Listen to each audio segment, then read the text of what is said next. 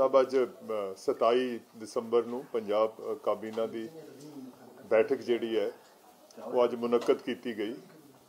ਕੋਈ ਲੰਬਾ ਚੌੜਾ ਅੱਜ ਏਜੰਡਾ ਨਹੀਂ ਸੀ। ਸਿਰਫ ਤਿੰਨ ਏਜੰਡਾ ਆਈਟਮਸ ਤੇ ਡਿਸਕਸ਼ਨ ਹੋਈ ਹੈ। ਇੱਕ ਤਾਂ ਪੰਜਾਬ ਦੇ ਵਿੱਚ ਜਿੰਨੀਆਂ ਵੀ ਗੈਰ ਕਾਨੂੰਨੀ ਕਾਲੋਨੀਜ਼ ਹੈਗੀਆਂ ਅ, ਜਿਹੜੀ ਅਨਆਥੋਰਾਈਜ਼ਡ ਡਿਵੈਲਪਮੈਂਟ ਹੈ ਇਹਨਾਂ ਗੈਰ ਕਾਨੂੰਨੀ ਕਾਲੋਨੀਜ਼ ਨੂੰ ਆਰਡੀਨੈਂਸ ਦੇ ਜ਼ਰੀਏ ਜਾਂ ਪਾਲਿਸੀ ਦੇ ਜ਼ਰੀਏ ਇਹਨੂੰ ਰੈਗੂਲਰਾਈਜ਼ ਕੀਤਾ ਜਾਵੇ, ਇਹਦੇ ਲਈ ਇੱਕ ਕੈਬਨਿਟ ਨੇ ਸਬ ਕਮੇਟੀ ਦਾ ਅੱਜ ਗਠਨ ਕੀਤਾ ਆਈਡੀਆ ਇਹ ਹੈ ਕਿ ਪੰਜਾਬ ਦੇ ਜਿਹੜੇ ਸ਼ਹਿਰ ਹੈ, ਇਹ ਸਾਫ਼ ਤੇ ਸੁੰਦਰ ਹੋਣ। ਸੜਕਾਂ ਜਿਹੜੀਆਂ ਹੈ, ਉਹ ਮੁਨਾਸਿਬ ਤਰੀਕੇ ਨਾਲ ਚੌੜੀਆਂ ਹੋਣ। ਆਈਡੀਆ ਇਹ ਵੀ ਹੈ ਕਿ ਤੋਂ ਬਾਅਦ ਗੈਰ ਕਾਨੂੰਨੀ ਜਿਹੜੀ ਕਲੋਨਾਈਜੇਸ਼ਨ ਹੈ ਉਹ ਹਮੇਸ਼ਾ ਹਮੇਸ਼ਾ ਲਈ ਖਤਮ ਹੋ ਜਾਏ। ਆਥੋਰਾਈਜ਼ਡ ਕਾਲੋਨੀ ਸਿਰਫ ਪੰਜਾਬ ਦੇ ਵਿੱਚ ਆਣ ਔਰ ਜਿਹੜੀਆਂ ਇਹ 6-7000 ਅਨਆਥੋਰਾਈਜ਼ਡ ਇਸ ਵੇਲੇ ਪਈਆਂ ਹੈ, ਜਿਨ੍ਹਾਂ ਦੀਆਂ ਐਪਲੀਕੇਸ਼ਨਸ ਗਵਰਨਮੈਂਟ ਕੋਲੇ ਪੈਂਡਿੰਗ ਪਈਆਂ ਔਰ ਇਹ ਨਾ ਹੋਵੇ ਕਿ ਇਹ ਜਿਹੜੇ ਐਪਲੀਕੈਂਟਸ ਹੈ ਇਹਨਾਂ ਨੂੰ ਬੈਨੀਫਿਟ ਮਿਲ ਜਾਏ।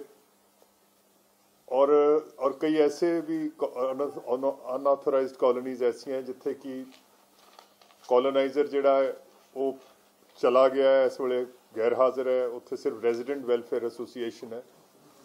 ਇਹ ਸਾਰੀਆਂ ਗੱਲਾਂ ਨੂੰ ਮੱਦੇਨਜ਼ਰ ਰੱਖਦੇ ਹੋਏ ਕੈਬਨਿਟ ਨੇ ਅੱਜ ਫੈਸਲਾ ਲਿਆ ਕਿ ਇੱਕ ਮਹੀਨੇ ਦੇ ਵਿੱਚ ਵਿੱਚ ਸਬ ਕਮੇਟੀ ਕੈਬਨਿਟ ਦੀ ਜਿਹੜੀ ਬਣੀ ਹੈ, ਉਹ ਆਪਦਾ ਫੈਸਲਾ ਦੇ ਕਿ ਅੱਗੇ ਤੋਂ ਪੰਜਾਬ ਸਰਕਾਰ ਦਾ ਕੀ ਰੱਦੇ ਅਮਲ ਹੋਣਾ ਚਾਹੀਦਾ ਹੈ ਔਰ ਜਿਹੜੀਆਂ ਗੈਰ ਅਨਆਥੋਰਾਈਜ਼ਡ ਕਾਲੋਨੀਜ਼ ਇਸ ਵੇਲੇ ਸਟੇਟ ਦੇ ਅੰਦਰ ਹੈ ਇਹਨਾਂ ਨੂੰ ਜੇ ਰੈਗੂਲਰਾਈਜ਼ ਕਰਨਾ ਹੈ ਤੇ ਇਹਨਾਂ ਤੇ ਕਿੰਨਾ ਡਿਵੈਲਪਮੈਂਟ ਚਾਰजेस ਵਗੈਰਾ ਵਗੈਰਾ ਇਹ ਕਿੰਨੇ ਲੱਗਣੇ ਚਾਹੀਦੇ ਹੈ ਕਿਸ ਕਿਸ ਤਰੀਕੇ ਨਾਲ ਹੋਣਾ ਚਾਹੀਦਾ ਸਭ ਤੋਂ ਜਿਹੜਾ ਅਹਿਮ ਫੈਸਲਾ ਉਹ ਅੱਜ ਇਹੀ ਹੋਇਆ ਸਰ ਕੌਣ ਕੌਣ ਇਸ ਤੋਂ ਇਲਾਵਾ ਦੋ ਹੋਰ ਛੋਟੇ ਏਜੰਡਾ ਆਈਟਮ ਸੀਗੀਆਂ ਇੱਕ ਤਾਂ ਪੰਜਾਬ ਪੁਲਿਸ ਅਕੈਡਮੀ ਦੇ ਵਿੱਚ ਤਿੰਨ ਲੈਕਚਰਰ ਜਿਹੜੇ ਸੀ ਉਹ ਐਡ ਹੌਕ ਕੰਮ ਕਰ ਰਹੇ ਸੀ। ਉਹਨਾਂ ਦੀਆਂ ਸਰਵਿਸਿਜ਼ ਰੈਗੂਲਰਾਈਜ਼ ਕੀਤੀਆਂ ਗਈਆਂ। ਕੋਈ ਉਹਨਾਂ ਕੋਲੇ ਕੋਰਟ ਦਾ ਆਰਡਰ ਸੀ ਉਹ ਕੋਰਟ ਦਾ ਆਰਡਰ ਜਿਹੜਾ ਹੈ ਉਹਦੀ ਉਹਨੂੰ ਇੰਪਲੀਮੈਂਟ ਕਰਨ ਦੀ ਕੋਸ਼ਿਸ਼ ਹੈ।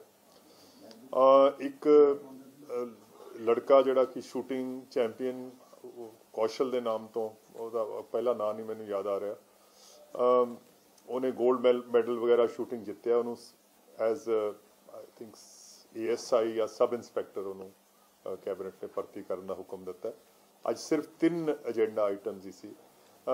ਜਿੱਥੇ ਤਾਈਂ ਤੁਹਾਡਾ ਸਵਾਲ ਹੈ ਕਿ ਇਸ ਕੈਬਨਿਟ ਸਬ ਕਮੇਟੀ ਦੇ ਵਿੱਚ ਮੈਨੂੰ ਲੱਗਦਾ ਹੈ local government minister health minister power minister ਸ਼ਾਇਦ ਤੇ ਫਾਈਨੈਂਸ ਮਿਨਿਸਟਰ ਸ਼ਾਇਦ ਚਾਰ ਚਾਰ ਬੰਦਿਆਂ ਦੀ ਕਮੇਟੀ ਹੈ। ਪਰ ਉਹਦਾ ਤੁਹਾਨੂੰ ਪ੍ਰੈਸ ਨੋਟ ਆ ਜਾਏਗਾ ਕਿਹੜੇ ਕਿਹੜੇ ਹੈਗੇ। ਸੋ ਅੱਜ ਦਾ ਕੋਈ ਲੰਬਾ ਚੌੜਾ ਏਜੰਡਾ ਨਹੀਂ ਸੀ ਸਿਰਫ uh, cabinet was in the last meeting. Uh, some of the ministers said it is not right to legalize such colonies, such haphazard development. But still, government have agreed today.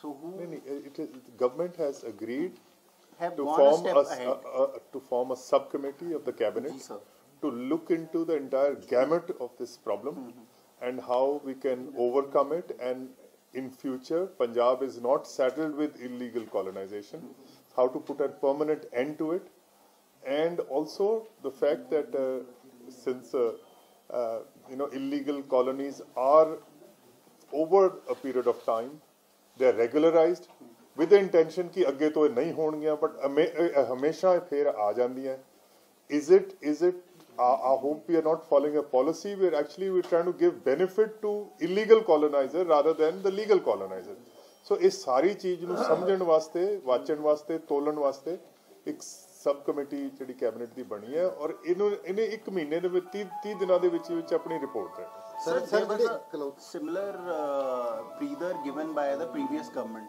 So how are we going to be different from what the previous government had done? Exactly so ਇਹ ਇਹੀ ਸਵਾਲ ਇਹੀ ਸਵਾਲ ਉੱਠ ਰਿਹਾ ਹੈ ਕਿ ਇਹ ਹਰ ਵਾਰੀ ਔਰ ਹਰ ਸਰਕਾਰ ਇਲੀਗਲ ਕਾਲੋਨੀਜ਼ ਨੂੰ ਲੀਗਲ ਕਰਕੇ ਜਾਂਦੀ ਹੈ ਪਰ ਇਹ ਖਤਮ ਹੋਣ ਦਾ ਨਾਂ ਨਹੀਂ ਲੈ ਰਹੇ। ਸੋ ਇਹਦਾ ਇਹਦਾ ਕੋਈ ਮੁਸਤਕਿਲ ਹੱਲ ਜਿਹੜਾ ਹੈ ਕੋਈ ਪਰਮਨੈਂਟ ਸੋਲੂਸ਼ਨ ਜਾਂ ਫਾਈਨਲ ਸੋਲੂਸ਼ਨ ਸਰ ਇਹ ਜਿਹੜੀ ਕਮੇਟੀ ਇਸ ਗਵਰਨਮੈਂਟ ਨੇ ਡਰਾਫਟ ਲਿਆਂਦਾ ਸੀ ਉਹ ਕੰਪਰੀਹੈਂਸਿਵ ਨਹੀਂ ਸੀਗਾ ਜੀ। ਪਿਛਲੀ ਕੈਬਨਿਟ 'ਚ ਵੀ ਆਇਆ ਸਾਰਾ ਬਣਾ ਕੇ ਦਿੱਤਾ ਸੀ ਡਿਪਾਰਟਮੈਂਟ ਨੇ। Why sub committee this because the the ਸਰਕਾਰ ਦੀ ਕਿਉਂਕਿ ਕੰਮਕਾਰ ਰੁਕਿਆ ਹੋਇਆ ਕਾਰੋਬਾਰ ਸਟੈਂਪ ਡਿਊਟੀ ਕਾਲੋਨੀਜ਼ ਦੀ ਜੇ ਇਜਾਜ਼ਤ ਸਰਕਾਰ ਨੇ ਨਹੀਂ ਦਿੱਤੀ ਹੈ ਇਹ- ਇਹਦੀ ਰਜਿਸਟਰੀਆਂ ਦੀ। ਜਦੋਂ ਤਾਈਂ ਕੋਈ ਫਾਈਨਲ ਸੋਲੂਸ਼ਨ ਨਹੀਂ ਆਂਦਾ ਉਦੋਂ ਤਾਈਂ ਇਲੀਗਲ ਕਾਲੋਨੀਜ਼ ਦੀ ਰਜਿਸਟ੍ਰੇਸ਼ਨ ਇਜ਼ ਨਾਟ ਪੈਸਾ ਜਿਵੇਂ ਜਿਹੜਾ ਗਮਾਡਾ ਪੈਸਾ ਹੋ ਗਿਆ। ਰੱਖਿਆ ਹੈ ਤੁਸੀਂ ਪਿਛਲੇ ਅਕਾਲੀ ਸਰਕਾਰ ਨੇ ਤਿੰਨ ਐਕਸਟੈਂਸ਼ਨਸ ਦਿੱਤੀਆਂ ਸੀ ਡੇਟ ਐਕਸਟੈਂਡ ਕਰਦੇ ਰਹੇ। ਪੈਸਾ ਕਾਫੀ ਸਾਰਾ ਗਵਰਨਮੈਂਟ ਕੋਲ ਪਿਆ ਹੈ ਲੋਕਾਂ ਨੇ ਅਪਲਾਈ ਕੀਤਾ ਸੀਗਾ। ਉਹ ਉਹਦੇ ਬਾਰੇ ਕੋਈ ਡਿਸਕਸ਼ਨ ਸਭ till till this final policy ਇਹਦੀ ਕੋਈ final policy decision does not take place government is not going to allow you no Sir, what was the point of disagreement between among the cabinet members? There was no point of disagreement. It is just that we want a policy which is uh, which will last, which you know where, where this uh, with illegal colonization will not crop up again and again. So we wanted a policy which was which will be foolproof. Sir, you suggested in the meeting. Sir, no, nothing. I will suggest once I am in the subcommittee. We will we will discuss this threadbare ਜਿਹਨੂੰ ਪੰਜਾਬੀ ਚ ਕਹਿੰਦੇ ਇਹਨੂੰ ਇਹ ਇਹ ਸੁਣ ਜਿਹੜੀ ਇੱਕ ਜਿਹੜੀ ਪਾਲਿਸੀ ਇਹਦੀ ਕਪੜ ਛਾਨ ਕਰਾਂਗੇ। ਸਰ ਲੰਬੇ ਸਮੇਂ ਤੋਂ ਇਹ ਚੱਲਦਾ ਆ ਰਿਹਾ ਪਿਛਲੀ ਸਰਕਾਰ ਵੀ ਕਰਦੀ ਰਹੀ ਹੁਣ ਵੀ ਤੁਸੀਂ ਇਹ ਸਟੈਪ ਚੁੱਕਿਆ ਹੈ। ਗਮਾਡਾ ਰਪੁੱਡਾ ਦੇ ਕੋਲ ਜਿਹੜੀ ਇਲੀਗਲ ਕਲੋਨੀਆਂ ਬਾਰੇ ਸ਼ਿਕਾਇਤ ਹੀ ਔਰ ਮੈਨੂੰ ਤਾਂ ਇਹ ਕਿਉਂਕਿ ਇਹ ਸਾਨੂੰ ਇਹ ਵੀ ਸ਼ੱਕ ਹੈ ਕਈ ਵਾਰੀ ਜਦੋਂ ਵੀ ਕੋਈ ਗਵਰਨਮੈਂਟ ਦੀ ਐਮਨਿਸਟੀ ਆਉਂਦੀ ਹੈ ਤਾਂ ਲੋਕ ਕੀ ਕਰਦੇ ਜੇ ਕਾਲੋਨੀ ਜਿਨ੍ਹਾਂ ਨੇ ਕੱਟੀ ਜਿੱਥੇ ਕੋਈ ਘਰ ਵੀ ਨਹੀਂ ਹੁੰਦਾ ਉਹ ਵੀ ਇਲੀਗਲ ਦੇ ਵਿੱਚ ਅਪਲਾਈ ਕਰ ਦਿੰਦੇ ਕਿ ਜੀ ਮੇਰਾ ਲੀਗਲ ਕਰ ਦਿਓ। ਉਹਦੇ ਚ ਕਿਉਂਕਿ ਇਹਦੀ ਫੀਸ ਫੂਸ ਉਹਨਾਂ ਨੇ ਥੋੜੀ ਘੱਟ ਰੱਖੀ ਸੋ ਇਹ ਸਾਰੀਆਂ ਚੀਜ਼ਾਂ ਨੂੰ ਵਨਸ ਐਂਡ ਫॉर ਆਲ ਸਦਾ ਸਦਾ ਵਾਸਤੇ ਇਲੀਗਲ ਕੋਲੋਨਾਈਜੇਸ਼ਨ ਖਤਮ ਹੋਵੇ। ਇੱਕ ਕੰਜ਼ਿਊਮਰ ਜਿਹੜਾ ਹੈ, ਉਹਦਾ ਹੱਕ ਹੈ ਕਿ ਉਹ ਲੀਗਲ ਕਾਲੋਨੀ ਦੇ ਵਿੱਚ ਚੰਗੇ ਮਤਲਬ ਜਿਹੜੇ ਬੰਦੇ ਹੈ, ਜਿਹੜੇ ਕਿ ਸਰਕਾਰ ਦੇ ਕਾਨੂੰਨ ਹੈ, ਚਾਹੇ ਰੇਰਾ ਦੇ ਹੈ, ਚਾਹੇ ਪਾਪਰਾ ਦੇ ਹੈ, ਉਸ ਕਾਨੂੰਨ ਦੇ ਤਹਿਤ ਕਾਲੋਨੀਆਂ ਬਣੀਆਂ ਹੋਣ। ਔਰ ਉੱਥੇ ਫਿਰ ਬਾਅਦ ਦੇ ਵਿੱਚ ਸੂਏਜ ਦਾ, ਸੜਕਾਂ ਦਾ, ਪਾਰਕਾਂ ਦਾ ਇਹ ਮਸਲਾ ਜਿਹੜਾ ਹੈ, ਫਿਰ ਕਿਉਂਕਿ ਜਦੋਂ ਇਲੀਗਲ ਕਾਲੋਨੀ ਦਾ ਮਤਲਬ ਹੈ ਕਿ ਇਸ ਤੋਂ ਬਾਅਦ ਸਾਰੀ ਜਿਹੜੀ ਰਿਸਪੌਂਸਿਬਿਲਿਟੀ ਹੈ, ਉਹ ਲੋਕਲ ਬਾਡੀ ਤੇ ਲੋਡ ਆਨ ਹੋ ਜਾਂਦੀ ਹੈ, ਉਹ ਔਰ ਲੋਕ ਜਿਹੜੇ ਆ ਫਿਰ ਅੱਗੇ ਪਿੱਛੇ ਭੱਜਦੇ ਰਹਿੰਦੇ ਆ ਔਰ ਉਹ ਨਰਕ ਦੇ ਵਿੱਚ ਜਿਉ ਰਹੇ ਆ ਕਿਉਂਕਿ ਇਲੀਗਲ ਹੈ, ਕਿਉਂਕਿ ਉਹਨਾਂ ਨੇ ਡਿਵੈਲਪਮੈਂਟ ਕੀਤੀ ਨਹੀਂ ਹੁੰਦੀ। ਸਰ ਕੁਝ ਕਲੋਨੀਆਂ ਇਹੋ ਜਿਹੀਆਂ ਜਿਹੜੀਆਂ ਸ਼ਹਿਰ ਦੇ ਬਿਲਕੁਲ ਨਾਲ ਹੁੰਦੀਆਂ ਉਹ ਸ਼ਹਿਰੀ ਇੱਕ ਮਿੰਟ ਪਰਵਾਨੇ ਸ਼ਹਿਰੀ ਹ- ਮਤਲਬ ਹੱਦ ਹੁੰਦੀ ਹੈ ਜੀ। ਉਹਦੇ ਬਿਲਕੁਲ ਨਾਲ ਲੱਗਦੇ ਆ। ਸ਼ਹਿਰ ਦੀ ਹੱਦ ਨਹੀਂ ਵਧੀ ਹੁੰਦੀ। ਉੱਥੇ ਕੱਟੀਆਂ ਜਾਂਦੀਆਂ ਜੀ। ਉਹ ਪਿੰਡਾਂ ਦੇ ਅਧਿਕਾਰ ਖੇਤਰ ਫਿਰ ਉਹਨਾਂ ਵਾਸਤੇ ਕੌਣ ਜ਼ਿੰਮੇਵਾਰ ਹੋਵੇਗਾ? ਨਹੀਂ ਚਾਹੇ ਉਹ ਕਿਸੇ ਮਿਊਨਿਸਪਲ ਕਮੇਟੀ ਦੀ ਹਦੂਦ ਦੇ ਵਿੱਚ ਹੈ ਜਾਂ ਹਦੂਦ ਤੋਂ ਬਾਹਰ ਹੈ ਜਿਹੜੀ ਕਾਲੋਨੀ ਵਿਦਆਊਟ ਪਰਮਿਸ਼ਨ ਹੈ ਉਹਨੂੰ ਅਨਆਥੋਰਾਈਜ਼ਡ ਮੰਨਿਆ ਜਾਂਦਾ ਹੈ। ਤੇ ਉਹਨਾਂ ਤੇ ਉਸ ਕਿਸਮ ਦੀ ਕਾਨੂੰਨੀ ਕਾਰਵਾਈ ਹੋ ਸਕਦੀ What's the exact number, sir? You said 6,000 to 7,000. ਕੋਈ 6.5000 ਕਾਲੋਨੀ ਅਹ, ਸਰਕਾਰ ਦੇ ਧਿਆਨ 'ਚ ਇਸ ਵੇਲੇ illegal are more also? Maybe. ਇਹ ਇਹ ਹੋ ਸਕਦਾ ਜੀ 6.5 ਦੀ ਤਾਂ ਮੈਨੂੰ ਲੱਗਦਾ ਸਾਡੇ ਕੋਲੇ ਕੰਪਲੇਨ ਜਾਂ ਐਪਲੀਕੇਸ਼ਨ ਫॉर ਰੈਗੂਲਰਾਈਜੇਸ਼ਨ ਸਾਡੇ ਕੋਲੇ ਪਈ ਹੈ